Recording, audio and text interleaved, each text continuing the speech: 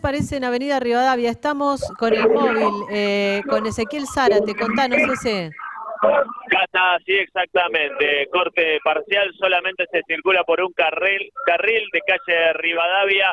Sería entre Crespo y Suipacha, frente al Ministerio de Trabajo. Aquí, el Frente de Sindicatos Estatales convocó a una declaración conjunta precisamente al Ministerio de Trabajo. Aquí están exigiendo que se cumplan los acuerdos paritarios, también la recorporación de algunos eh, despidos.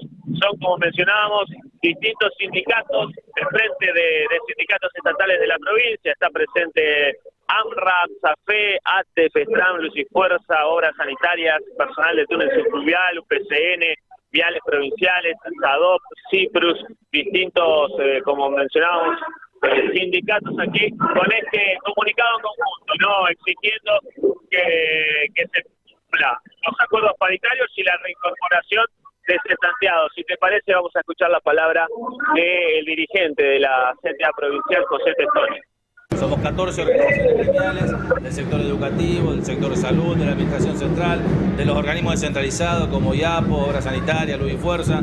14 eh, organizaciones, vuelvo a decir, ambas eh, organizaciones que estamos nucleados tanto en la CGT Santa Fe como en la CTA de la provincia de Santa Fe, haciendo un planteo conjunto que tiene que ver con eh, el incumplimiento de actas paritarias que estamos padeciendo el conjunto de estas organizaciones y en segundo término con el mismo nivel de gravedad también los y eh, de alguna manera lo van a desarrollar mejor los compañeros de Administración Central.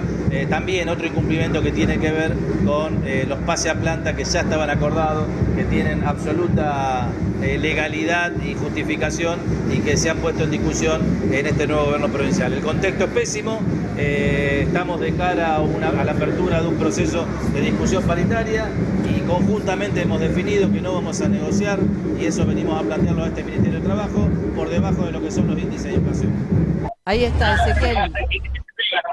Reiteramos, reiteramos el corte de calle.